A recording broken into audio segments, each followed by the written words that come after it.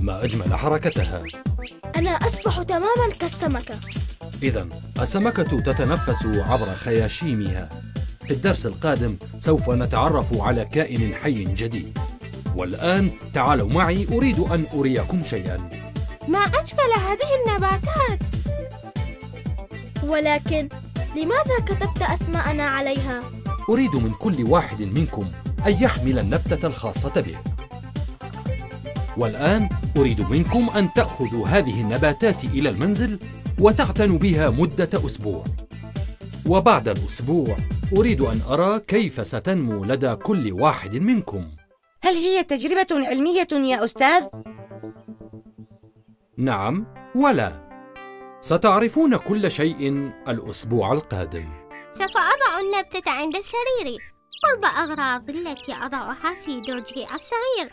شيرين! أين تضعين أشياءك؟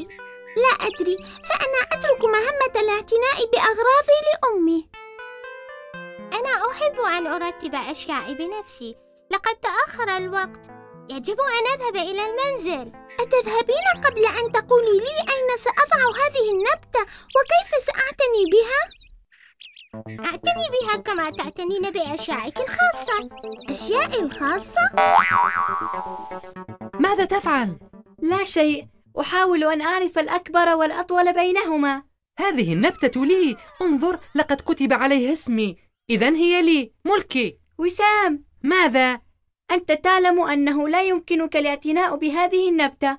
أعطني إياها وسوف أراقبها وأعتني بها. كلا هي لي وسوف أعتني بها أنا. نبتة وسام أكبر وبعد أسبوع ستكون أكبر.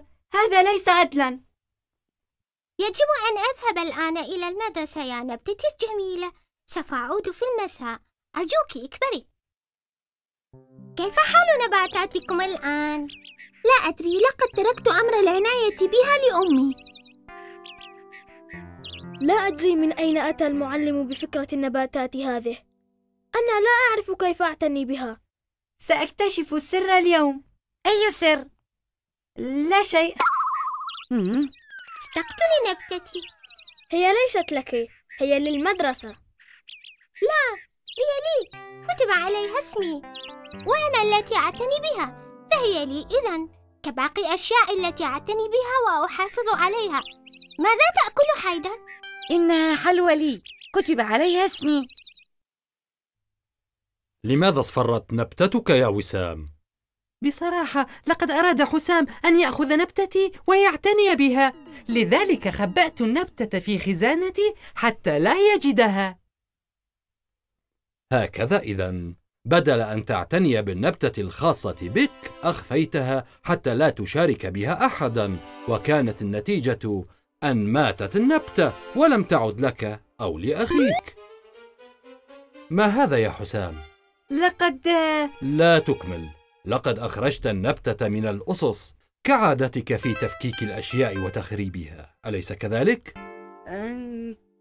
أعرف ماذا ستقول. لم أعتني بها ونسيت أن أسقيها. أحسنت يا شيرين. أخبر الفصل كيف اعتنيت بالنبتة. بصراحة يا أستاذ لا أعرف. لقد تركت أمر العناية بها إلى أمي. أنا أعرف يا معلمي. عندما نمتلك شيئا يجب أن نتحمل مسؤوليته. وأن نعتني به حتى نستحقه. لذلك النبتة الوحيدة التي سيبقى عليها اسم صاحبها هي نبتة هيفاء وسوف أضعها في المختبر.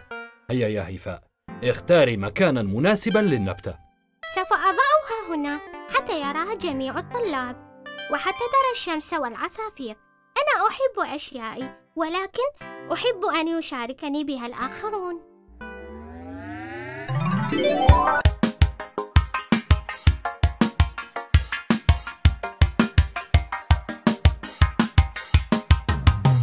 ألقي أبدا أوراقي. كتبي أحفظها وأشيائي. حقيبتي ملابسي وحذائي.